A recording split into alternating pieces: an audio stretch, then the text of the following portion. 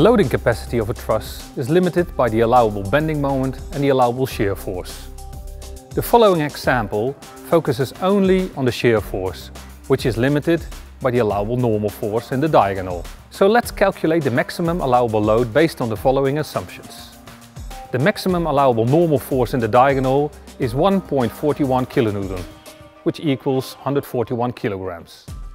Self-weight is not considered, the angle of the diagonal is 45 degrees, and we use a duo truss, also known as a two-core truss, and buckling of the upper chord is not considered. If the load is placed in the middle, the forces are equal throughout the diagonals. The allowable normal force, under tension or compression, of a diagonal determines how much shear force can be applied. How can we trace back to the maximum allowable center point load, CPL? In order to do this, we need to consider the effect of the angle of the diagonals. The maximum force in the diagonal under the given condition needs to be diverted into the maximum vertical force in the two end braces by the following equation.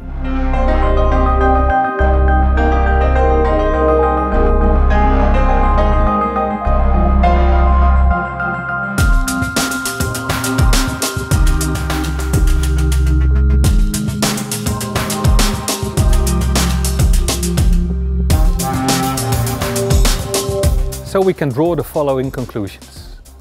The vertical end braces in the middle acts like a diagonal, but one with a 90 degree angle. The forces simply follow the alternating pattern from tension, compression and so on. How tension and compression alternates in diagonals and main chords depends on the use of the structure. Therefore manufacturers shall calculate the trusses to its weakest link. For bespoke structures or setups, a chartered engineer could play with this effect. Deviations in setup might lead to significant consequences. If the angle of diagonal changes, the tension at the diagonal also changes.